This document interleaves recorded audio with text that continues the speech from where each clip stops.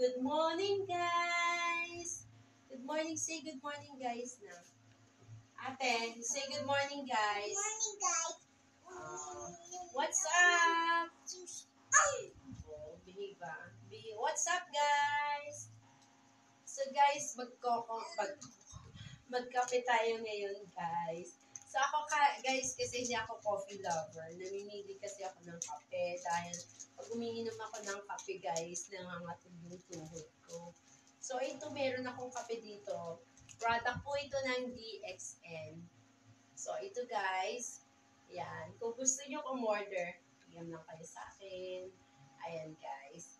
So, product ito ng DXN. Um, maraming health benefits to guys kasi ito yung kape. Hindi naman to ordinary na kape. Meron to siyang lindsay, um, lindsay guys. Ano ba itong lindsay? Ito yung mushroom, ganoderma. Yan. So, and guys, ang sarap, ang daming health benefits, pero ako din pag umiinom ako nito, ang sarap ng tulog ko. Saka syempre, yung gustong-gusto natin guys, lalo ng mga babae, ah, stress reliever ito guys. At syempre, binuboost yung immune system mo nito guys. Marami siya talagang ah, benefits guys. O pinapababa yung cholesterol mo. Ah, ano pa? Ah, prevent marami siyang prevention like um, yung pre- prevent cancer, nagpe-prevent ng cancer dahil nga sa mushroom, itong linseed. Ayan guys. So, tara kape guys. Meron kaming pandesal dito. Ito na lang ang natira kasi kinain na ng mga bulilit. So, bihira naman kami magpandesal guys. Kasi hindi ko sila pinapakain ng mga ano, diretso kain kanin.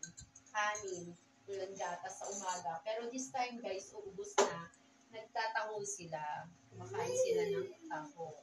Ayan. So, ito guys. Tara kape guys. Wala kape, guys. So, meron akong open na dito. Isa na yun.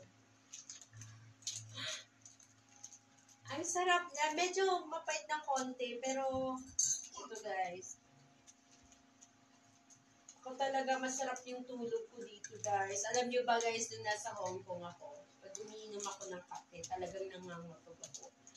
Kaya pag kumain kami ng breakfast kasama yung nag-order kami sa KFC o kay McDonald's, isang set lang. Tapos hahatiin na lang namin yung kape kasi bawat set merong kape. So, isang set na lang, tapos nag-additional na lang. Ay, ah, bawat ah, set merong kape.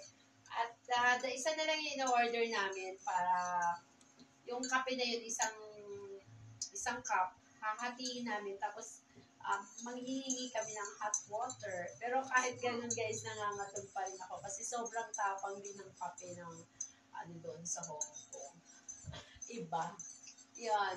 At saka, yan naman yung tinapay na kasama at saka sausage. Ina-additional na lang namin sa isang.